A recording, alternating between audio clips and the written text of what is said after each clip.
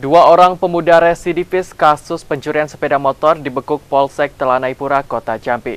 Aksi kedua pelaku sempat rekam kamera CCTV di kawasan Telanaipura. Akibat nekat mencuri sepeda motor, dua orang residivis kasus pencurian berhasil diringkus petugas kepolisian Telanaipura.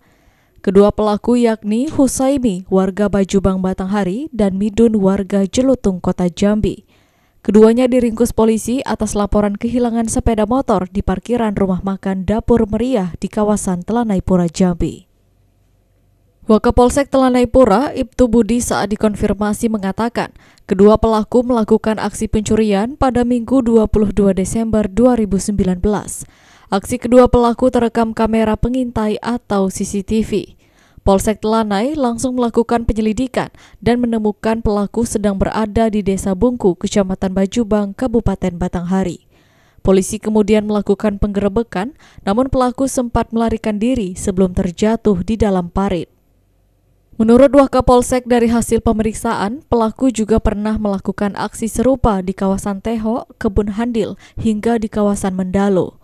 Dari tangan pelaku, petugas turut mengamankan dua unit sepeda motor serta rekaman CCTV.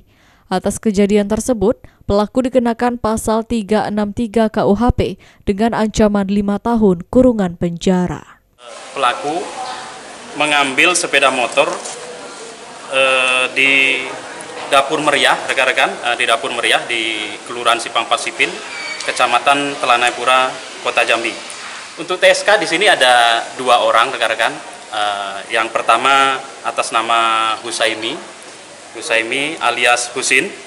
Yang kedua saudara Midun. Asar Patahangi, JEK TV melaporkan.